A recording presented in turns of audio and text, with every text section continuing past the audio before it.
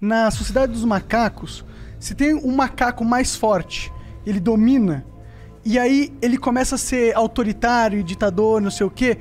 O que acontece? Dois macacos que não são mais não são tão fortes quanto ele se unem, matam ele e, e dividem poder.